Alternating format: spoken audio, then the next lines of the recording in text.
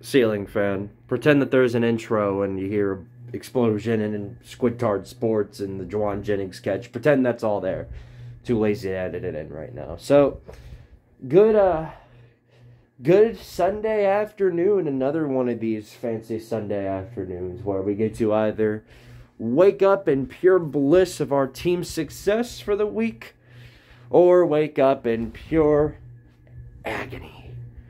And luckily for us, we have yet to feel that.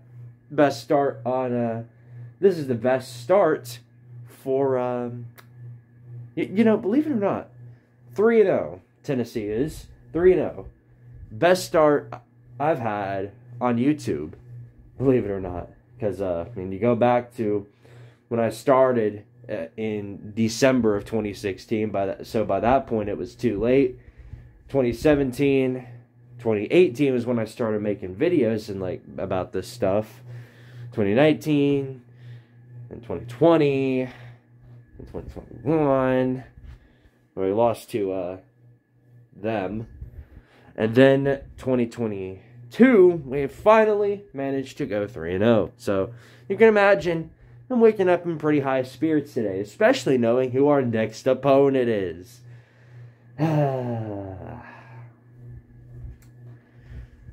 Scheduled execution date September 24th. And you most bet Squidtard is going to have a front row seat for that one. Well, uh, week three's over with.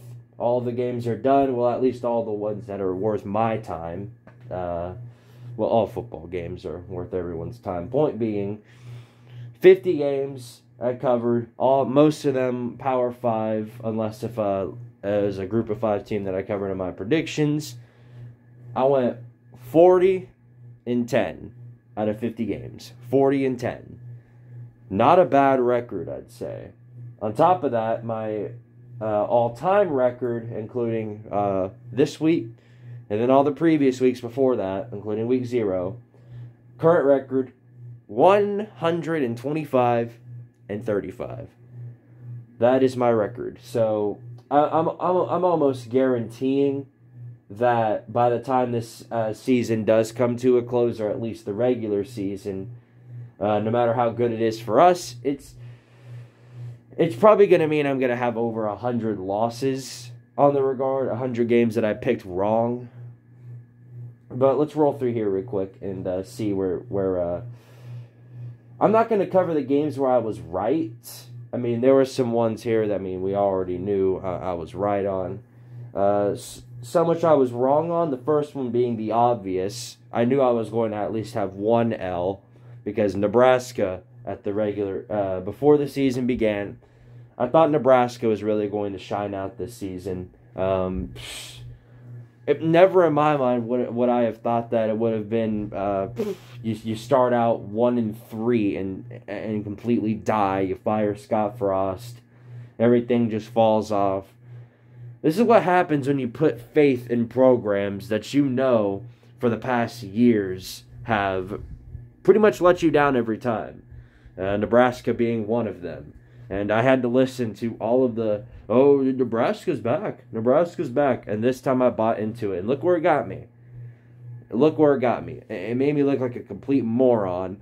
And I almost guarantee that uh, at least three or four times uh, this year, uh, three or four more times, I'll be seeing uh, Nebraska in the uh, the red section for where I got their game wrong. Had them going eight and four. I'll be lucky to go two and ten with the schedule that they've got.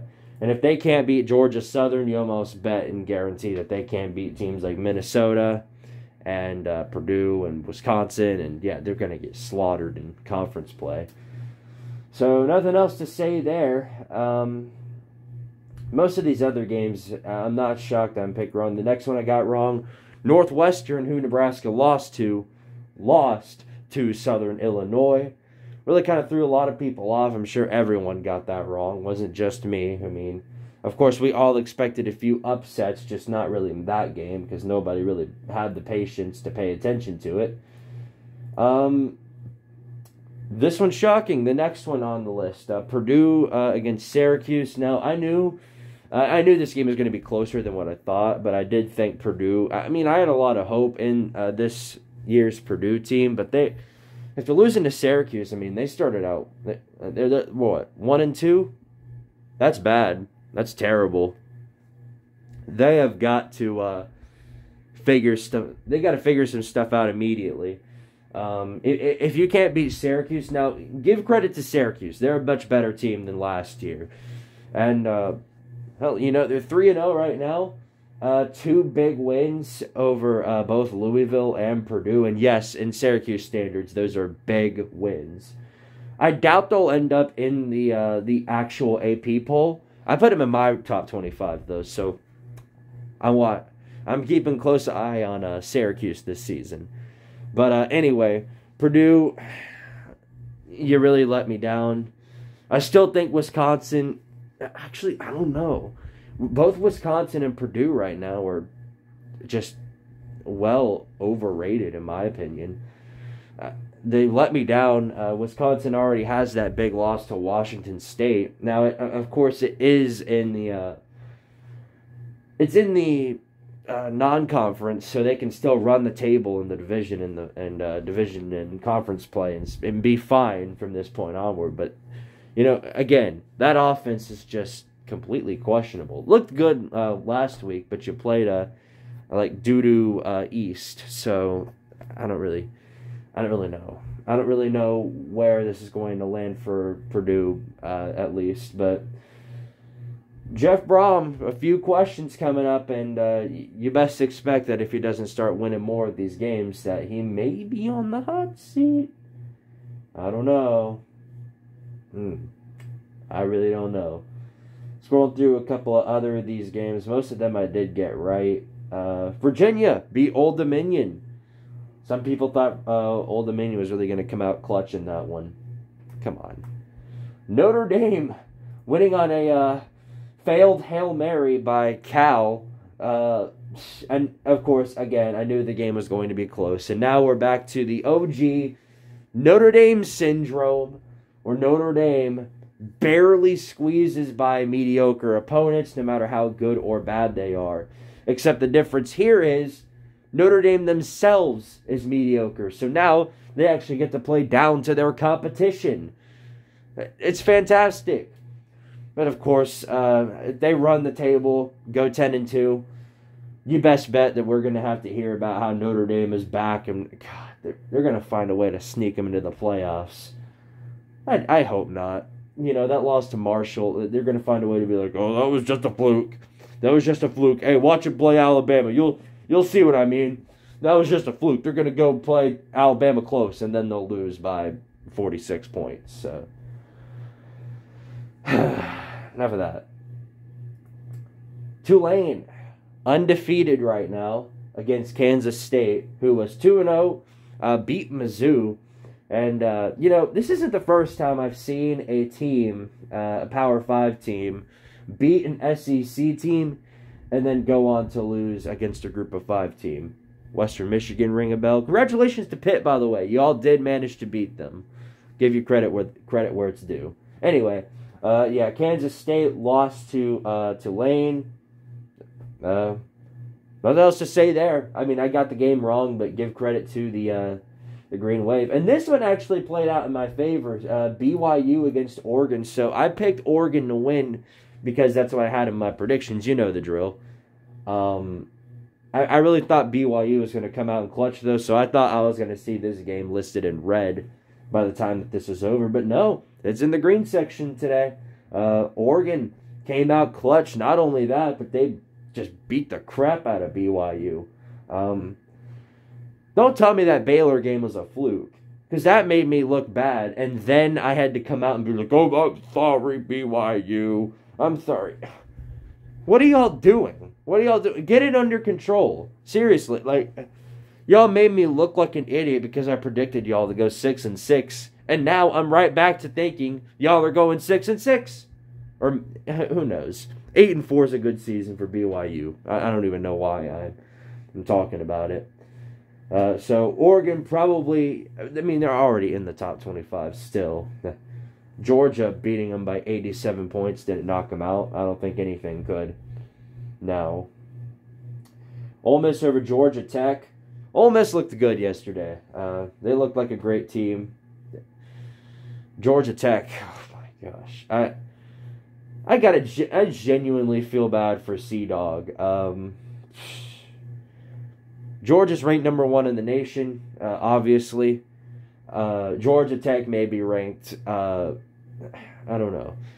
How many teams are better than Georgia Tech? Well, all the Power Five teams probably, including unfortunately Vandy and some others. Um, maybe most of the group of five teams. Bishop Sycamore. I mean, the list goes on, but that if you can't put up a point on Ole Miss's defense, I don't really know where you're going to. It's bad over there at Georgia Tech. Y'all got it. If you don't get rid of him now, uh, and of course I'm talking about uh, having a brain fart here. Your coach, your head coach, your good old, your good old buddy, uh, of course, Geoff Collins. That's his name. Y'all better get rid of him though. All right, next up, Penn State Auburn. Got that one right. Of course, I had a feeling Penn State was going to win. I thought it was going to be a little bit of a closer one since it was in Jordan Hare.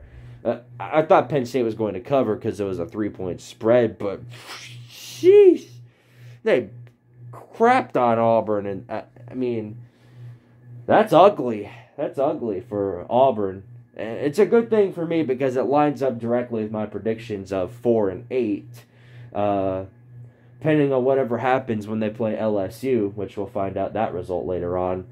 Uh, but yeah, uh, and Penn State looks good. They look to be the team that I think's going to drop Ohio State this year. I say that every year, but this year I, I mean it. All right, uh, next up, Northern Illinois.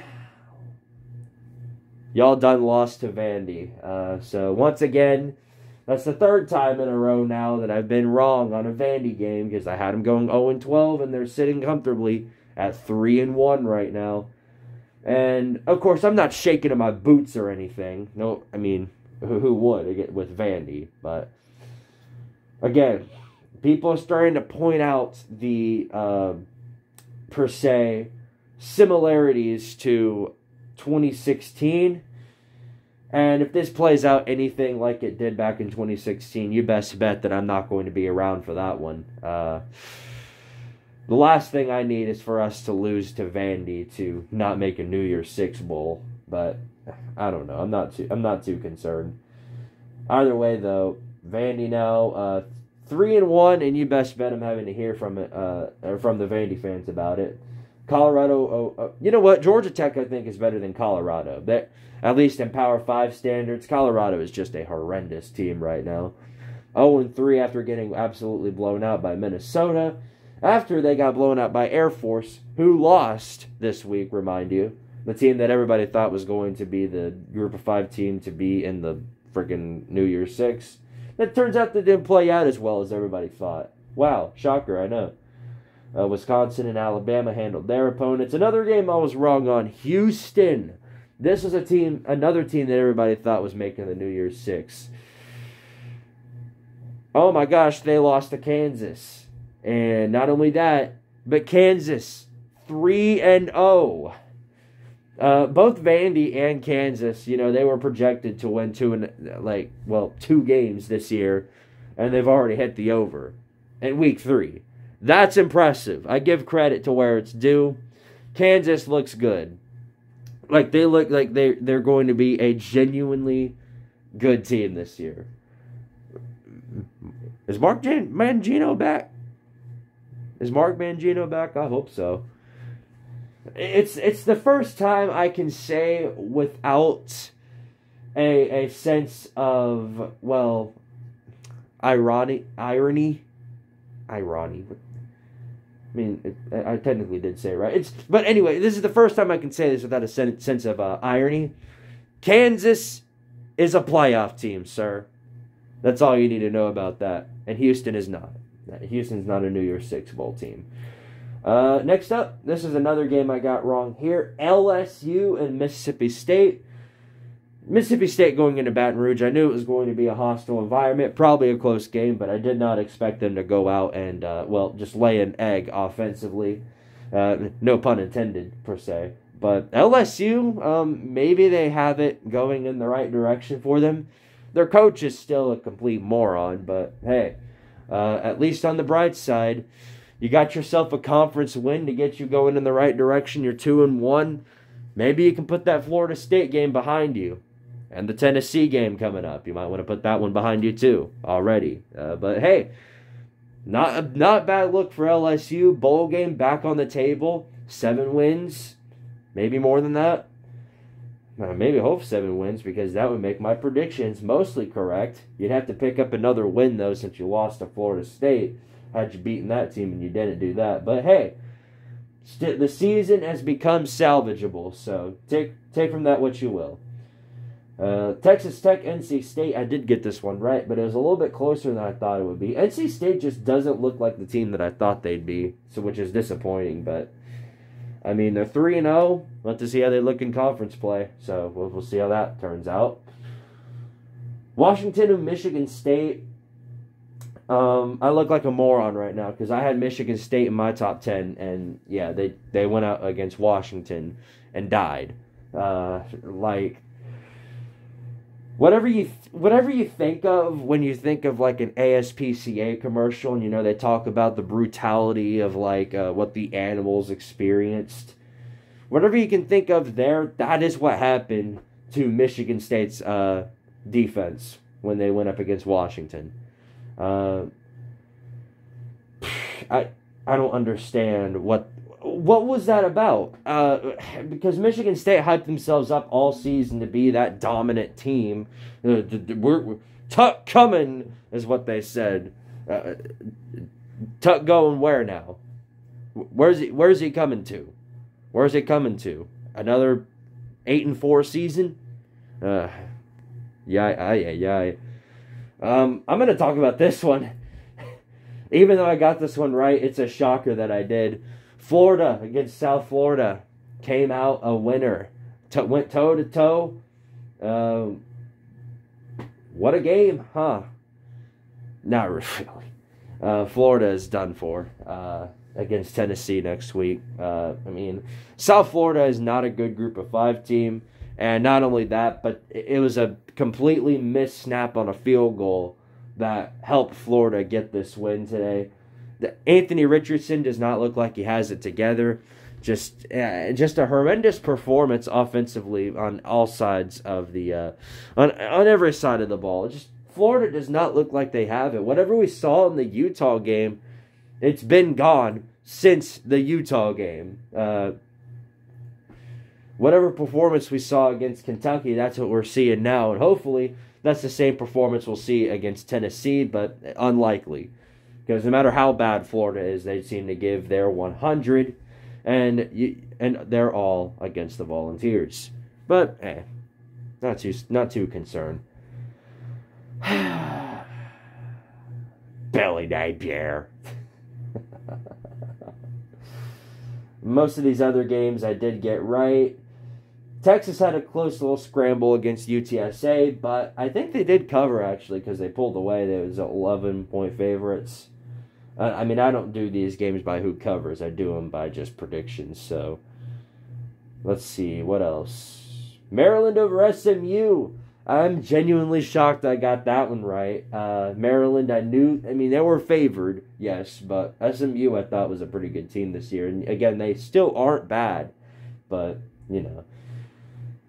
Texas A&M over Miami. This is one that I thought was going to falter too because I had Texas A&M winning, but no, they they pulled it out, got the W, uh, and that helped me out a, lot. Uh, Miami, I don't know what happened to them. Maybe it's just SEC dominance. Maybe it's just you know Texas A&M is back. I don't know. Or maybe it's just the eight and four curse. Maybe they just needed this win to go eight and four because they already have one loss. Almost guaranteed they're picking up two or three more down the road, if not four. But hey, they beat Miami. They beat the Canes close shoot, close little matchup there. 17 to 9, I believe, was the final score. So, uh, yeah, congrats. Con- I don't think you deserve a congratulations. Uh, more of a um, you're winner. You're winner. That's right. You're winner. Uh, and then the last two games I got wrong. Uh, both the last two on here. Arizona beat North Dakota State. That's a shocker, in my opinion. Now, of course, I knew Arizona was going to be better than what I had them going this season because I thought they were going to be the worst Power 5 team, and then turns out they weren't because they won a game. But no, then not only have they won a game, but they won against the best FCS team in uh, in college football. So take from that what you will, but in my opinion, Arizona is much better than what I thought they were, and they're likely to be a seven or eight win team. Amongst all the other bottom feeders that have suddenly risen up this year Syracuse, Duke, Kansas, not Vandy. But hey, uh, that's still pretty good, and you got to enjoy that for what it's worth. And then Arizona State, and I'm sure Arizona fans are just reveling in success right now because a little. Uh, their little friend, their little rival, uh, went up and lost to the Big E in Eastern Michigan. And so, yeah, good times for all if you are a Arizona fan, and good times for all for sure if you're a Tennessee fan. Because and and if you're and if you're Squidtard, because forty and ten is not bad, and 125 and 35 isn't bad either. But I'm gonna have to start getting lucky on a lot more of these games because chances are my record is not going to stay as pristine as it is for a lot longer. Now that some of the teams I think are going to do good are faltering, and some of the teams I think are doing bad are rising. So, for what it's worth, you never know. Uh, will Vandy win an SEC game? That's the question. Uh, big question there. Uh, Missouri. That, that's Missouri does not look good this year. In fact, they just, I mean, they look terrible.